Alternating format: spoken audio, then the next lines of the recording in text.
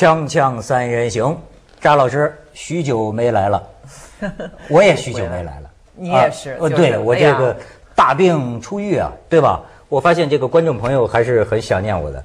我这个久病之后啊，上个礼拜闪光复出嘛，是吧？做了一集《锵锵三人行》，反响非常的强烈，骂声一片呐。啊？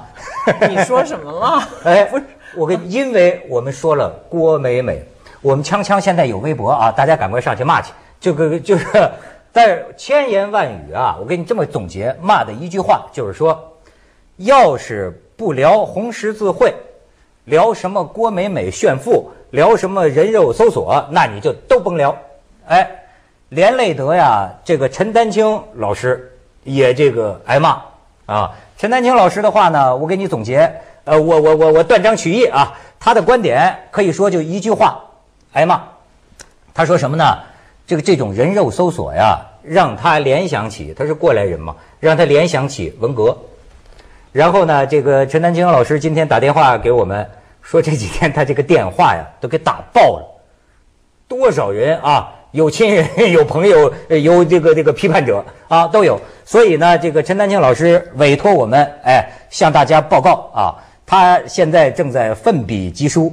他呢会在这个星期五出版的《南方周末》上面发表文章，第一篇，然后下个礼拜五《南方周末》还有第二篇，就陈丹青老师啊会就大家对他的这个意见啊进行这个呃回应啊。那么而且呢，他听说是你们两位来啊，也建议你们两位可以批判批判他。这大字报奇闻是有有有来有往是吧？必须得。反批，然后我们再评点。不是这个，我我跟你讲啊，就是我可以招认，就是说呢，倒也没人通知我们说这个红十字会这事儿不能聊。的确呀，是我这个人吧，个人兴趣大于社会责任感。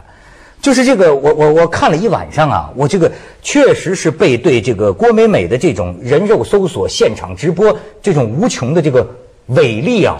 把我给震撼了，你知道吗？所以这件事情 说实在，在我心里的兴趣，当时我真没了解到什么民意。我觉得，哎呦，可以这么样的盯着一个人呢，无无所遁形。就这件事引起我的这个感叹呢，更大。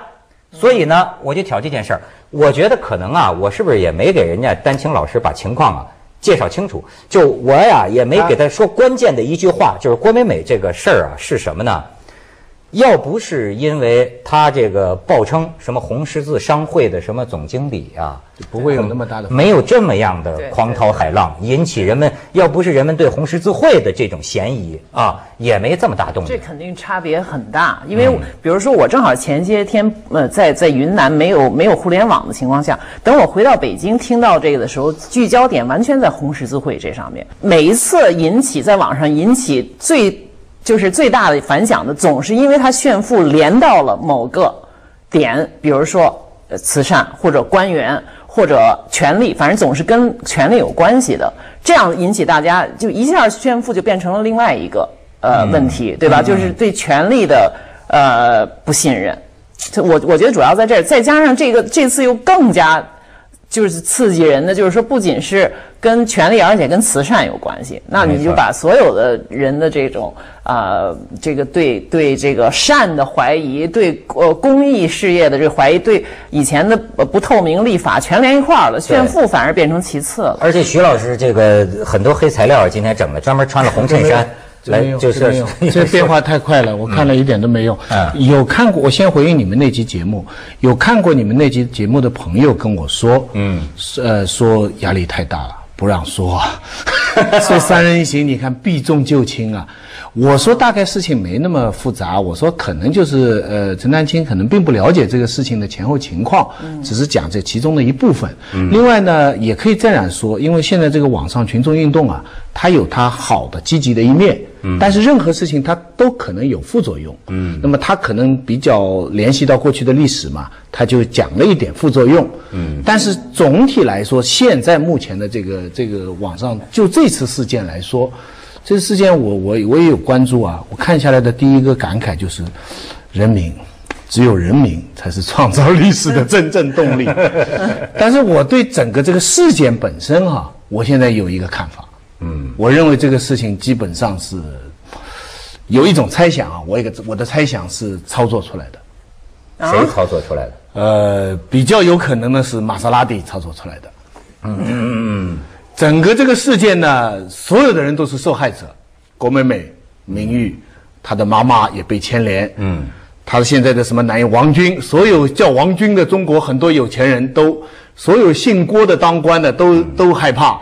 那红十字商业红十字会所有这些公司什么还有物华，我跟你说中红博爱，还有一个这个爱马仕的竞争对手策划的，对，他要把这个品牌啊彻底的庸俗 化、二奶化。有人说，我对二奶没有歧视的啊所以，。所以，所以你们想想，我们这个福尔摩斯的基本原则，一件事情当中谁得益嘛？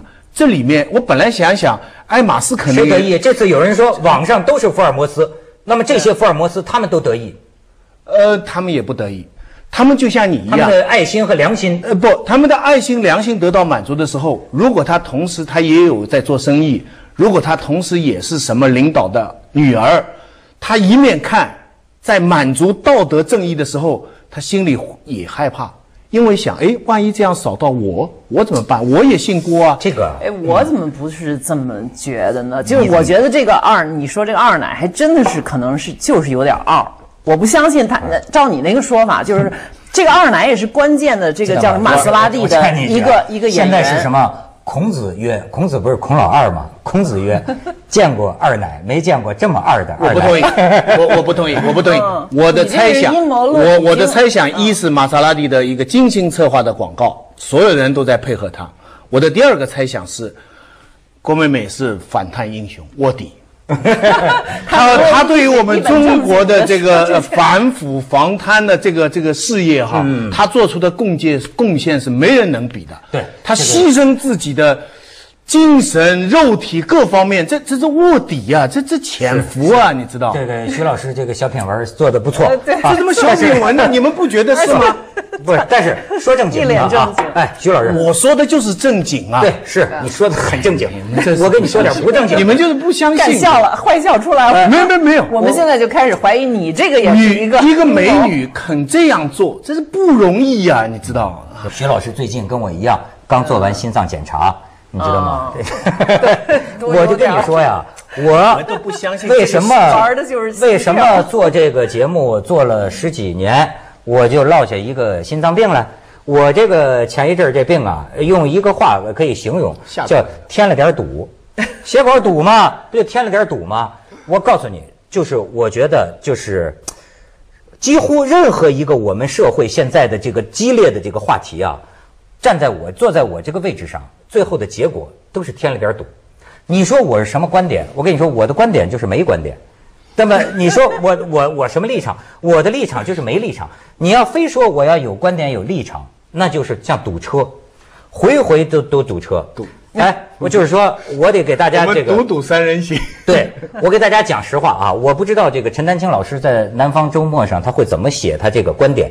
听说他还挺捍卫他的观点啊，那我是捍卫他发表观点的权利了，是吧？对对对哎但是我就说啊，我至少有一个部分是同情他的感受。对我也是。为什么呢？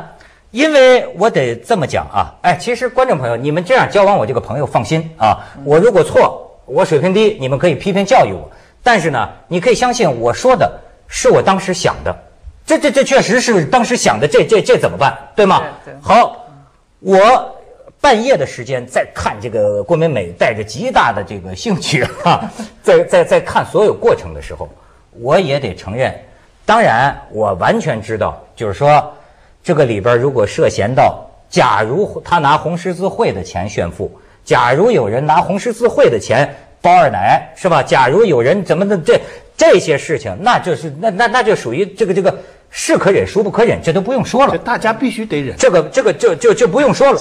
那么，但是呢，我在觉得这些地，觉得觉得这女的犯贱，觉得这女的太二，是吧？觉得红十字会，假如真的这样，不该这样，真能不该这样指责她。我觉得，我觉得对郭美美真是不该这样指责她整。这个，这这这男人犯的错，这个揪住一个小女子这样大家出气，我觉得这不对。哎，好，徐老师。更不要说他是卧底，这哦，你你接着说，接着说，接着就说是这卧底啊，这不是这这我 我就是说呀，我先把这些理由讲了。我就是说，像这种情况，你哪怕就是说，如果这些事情得以证实的话，那红十字确实在我心里就是黑十字，对吧？